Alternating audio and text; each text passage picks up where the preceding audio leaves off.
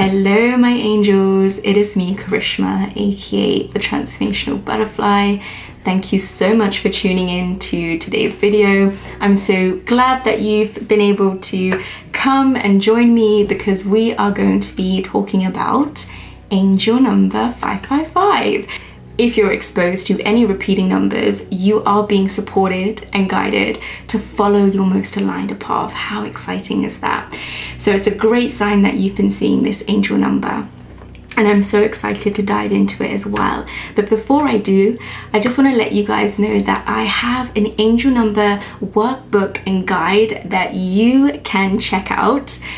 It can help you to decode your angel numbers that you've been seeing and to help you make sense of it more along your journey. So I'll leave the link in the description box below if you are interested. Now let's get straight into the video. So what is angel number 555 all about?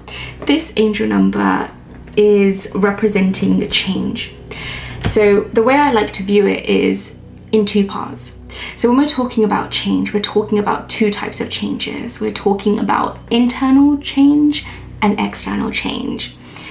Now, what I mean by internal change or internal shifts is anything to do with the self, anything to do with you turning inwards and working on yourself. Anything that is to do with you and the relationship with yourself. So internal changes might be changing your habits, your behavior patterns, looking at any unhealthy thought patterns and feelings that you've been holding on to that don't serve you, perhaps um, really identifying your repressed emotions, your wounds, your fears, your limiting beliefs, your internal um, wounds, your trauma, practicing self compassion, changing any of those destructive thought patterns and beliefs you're holding on to. And perhaps it might be also having more self love for yourself, standing up for yourself more, setting more boundaries, having more compassion and kindness towards yourself. So it's a lot to do with doing the internal work on yourself and making those internal shifts within. So if you are already on that journey, if you're already doing the internal work on yourself, the angels want you to, to, to just show appreciation for that. And it's kind of like a reminder to continue on down this path as you're doing the work. But if you're someone that's been pretty hesitant towards doing the internal work on yourself, then this might be your sign to start exploring that. It's never too late, and I think we're all on different journeys. So it's just a reminder to continue kind of focusing on doing the internal work because what's going on in here reflects our outer world. So if you feel like there is just so much that you need to really change and shift within, now is the time to do that. Now is the time to really start healing from things, to start changing things, to start becoming a better version of yourself, a more authentic version of you that you know you can be. So yeah, it's all about change, internal change. Now, the second part of this change that I'm talking about is external change or having external shifts come into your life. So, what do I mean by external change? These are things outside of you that can change. So, it might be um, you experiencing leaving a job, perhaps starting a job, maybe um, you know a long-term relationship that you've had with your partner has ended. It might be moving abroad, buying a house, having a baby. Any change that is happening in your life or any change that you need to make is for your highest good. now, the problem here is that sometimes we can resist change. And this is because the ego does not like change. It does not like anything that's new, unfamiliar, anything that feels very foreign because the mind has been designed to protect us. It wants to be in control, it wants to know the outcome of things, it wants to be doing things in routine all the time.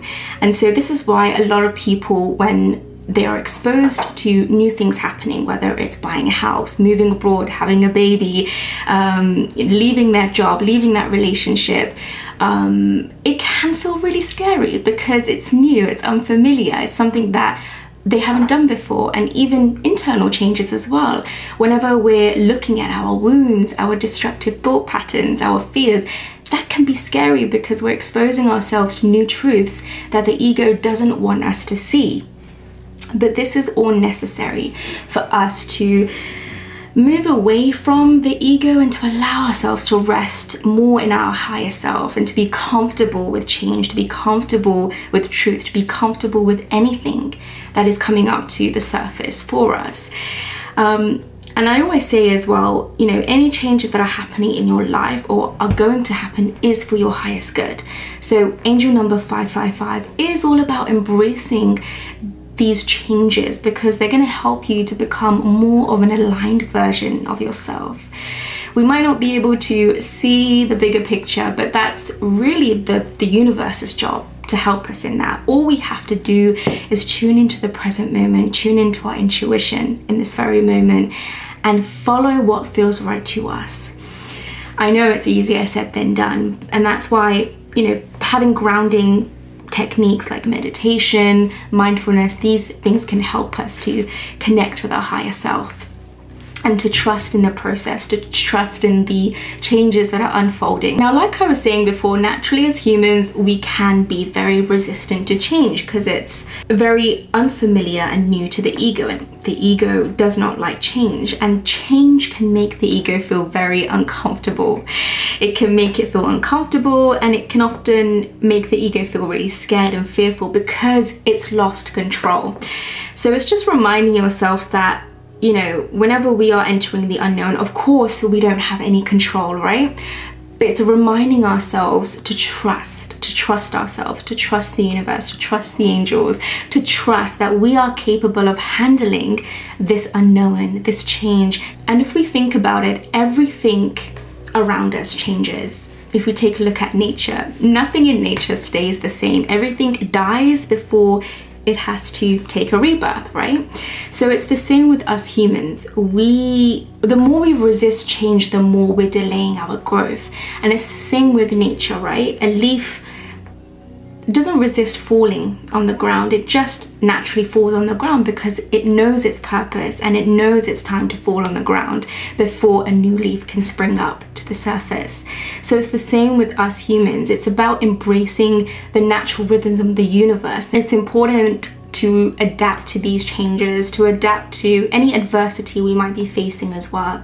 So adaptability is a really key skill or quality that we can take on as we're seeing angel number 555. So another reason we're seeing angel number 555 is freedom. Freedom is calling. So when we're looking at the energy of five, it's really about change, exploration, um, variety, having a desire for variety and dancing in the unpredictability of life.